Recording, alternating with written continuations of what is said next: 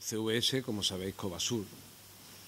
que es la empresa esta que en su momento, hace ya pues tres, cuatro años por lo menos, que se componía, eran tres socios, el Grupo Gallardo, CAF y GA21. Como ustedes saben, ese proyecto al final se malogró,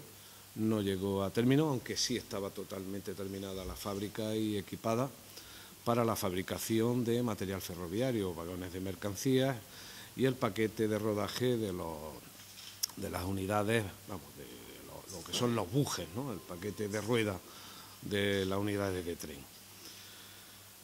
Ayer mismo se hacía mm, firme una propuesta y se presentaba una propuesta por un grupo, eh, un operador ferroviario mm, netamente andaluz, Ecorrail, para recuperar ese proyecto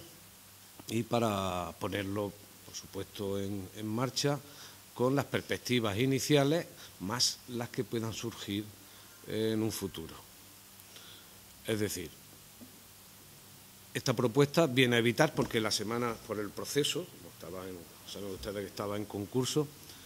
eh, por el proceso que seguía este asunto, la semana que viene ya saldría a subasta el desguace de esa fábrica, eh, de, todo el material que hay allí, ¿no? la venta para, o la subasta para su desguace.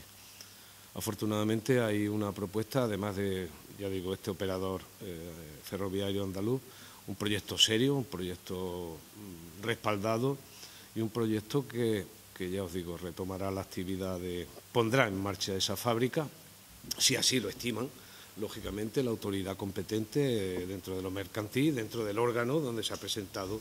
lógicamente, esta propuesta y que confiamos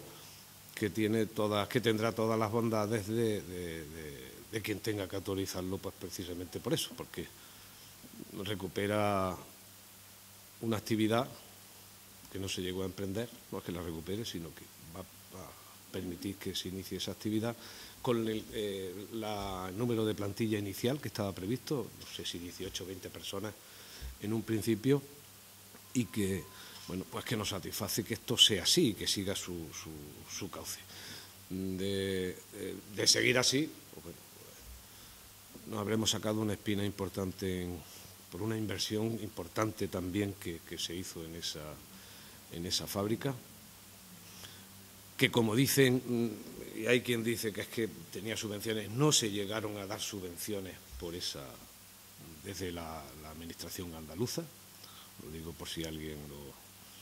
lo, lo, menciona o alguien quiere saber el dato, y lo cierto es que por lo menos nos abre una perspectiva, es una buena noticia porque nos abre una perspectiva dentro del parque, dentro de, ese espacio eh, industrial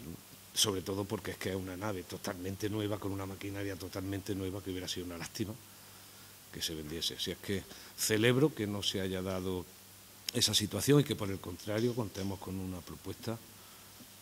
que, nos esperanza y nos ilusiona porque nosotros somos eminentemente industriales y es la cualificación que tiene la mayoría de nuestra ciudadanía en este sentido y que consideramos muy positiva la estaremos, lógicamente, atentos a cómo se desarrolla esto, pero que estoy seguro que la empresa se pondrá en contacto, lógicamente, una vez que se vayan dirimiendo este proceso, esta fase, y que esa propuesta mm, sea aprobada y sea bien vista por la autoridad judicial en este caso, y, cuando se vaya a materializar, pues por supuesto podrán dar más datos, porque eh, de hecho está pendientes del próximo proceso que se produce con, el tema de los trenes, liberalización y demás, y van a entrar en el mercado ferroviario pues con, la, con las alianzas pertinentes dentro del sector y necesarias para entrar de lleno en el mercado ferroviario.